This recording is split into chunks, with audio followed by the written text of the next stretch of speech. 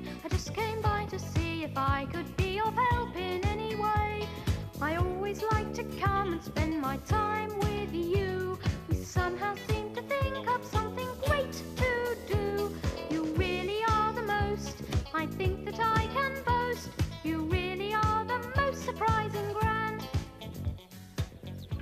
There was always something for Gran to grumble about.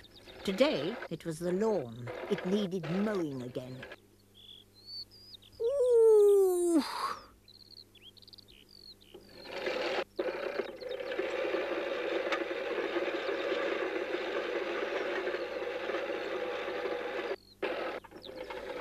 Oh, oh.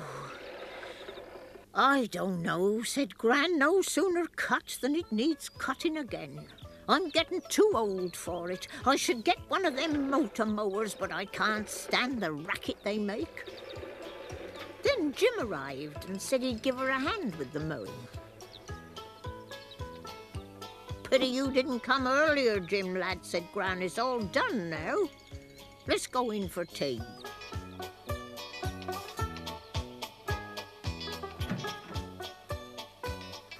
You know what you should get, Gran, said Jim? Some goats. Whatever would I want goats for? They could nibble the grass and keep it short for you, said Jim, and you could get milk from them too. I get my milk from the milkman. Now, eat up your tea and stop talking nonsense.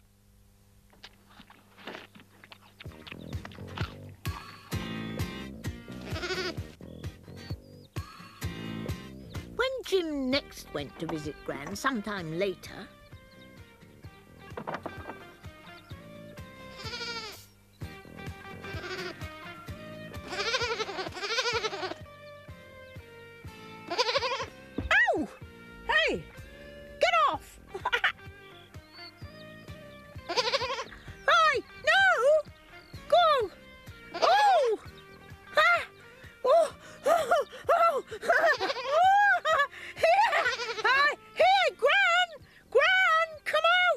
I took your advice, Jim, about the goats. I got a billy goat and two nanny goats.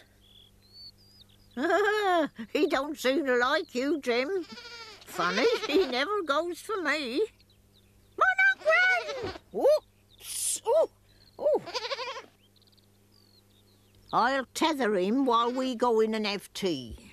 That's it. You be a good boy then. Useful animals, goats, Jim. They keep the grass down and they keep me in milk. Goat's milk, Jim? What is it, Jim?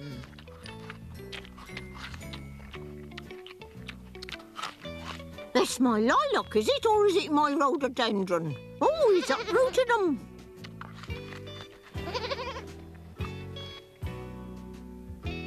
Perhaps goats weren't such a good idea after all. No, I better take 'em back to the farm where I got 'em from.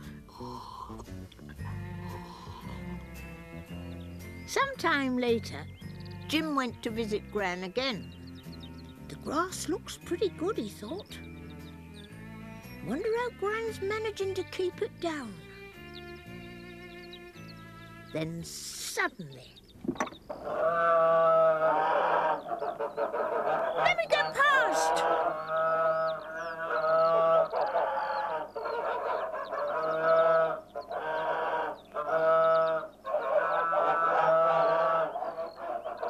They're all right, Jim.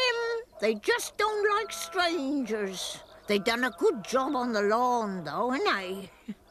And we got goose eggs for tea. How'd you like your eggs, Jim? Lightly boiled,